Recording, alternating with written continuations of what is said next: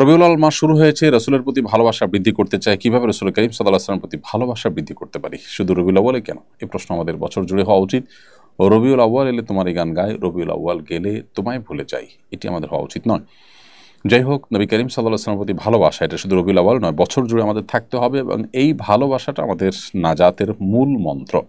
প্রিয় নবী সাল্লাহ সাল্লামের প্রতি ভালোবাসার দাবি হিসেবে আমরা দাবিতে আমরা সত্যবাদী হওয়ার জন্য তার অনুকরণ করাটা সবচেয়ে বেশি জরুরি এবং ভালোবাসা বৃদ্ধি করবার জন্য তার সম্পর্কে জানার কোনো বিকল্প নেই। আপনি যত বেশি নবী সাল্লাহ আসলাম সম্পর্কে জানতে পারবেন, যত বেশি তার সিরাত নিয়ে আপনি ঘাটাঘাটি করবেন স্টাডি করবেন, পড়াশোনা করবেন, চর্চা করবেন, তত বেশি তার প্রতি আপনি আকৃষ্ট হবেন, তত বেশি আপনি তার দিকে ধাবিত হবেন, তত বেশি আপনি তার তার প্রতি ভালোবাসা আপনার মধ্যে বৃদ্ধি পাবে। কারণ তার গুণা, গুণ গুণা, গুণ, গুণগান যখন আপনি জানবেন, তার গুণাবলী, তার বৈশিষ্ট্য তার জীবন চরিত্র, তার জীবন চরিত্রের মাধুর্য, এগুলো যত বেশি আপনি জানতে পারবেন, তত বেশি আপনি স্বাভাবিকভাবে তার প্রতি অনুরক্ত এবং তার ভালোবাসায় সিক্ত হবেন।